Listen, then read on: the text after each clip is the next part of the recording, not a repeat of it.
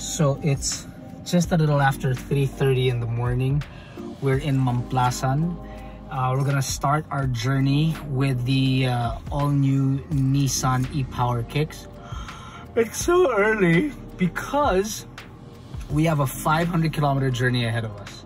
We're heading towards Misibis Bay. Now I know Nissan has a penchant for long drives because the last time they did it with the Navara was all the way to Bora. This time around, we're going to the area of Mount Mayon. And I barely slept. Jack hasn't slept, so this should be an not. interesting. Have you slept? Nope. No. Okay, so this should be an interesting trip. We'll try to keep you updated every so often, but um, if I fall asleep, I love you all.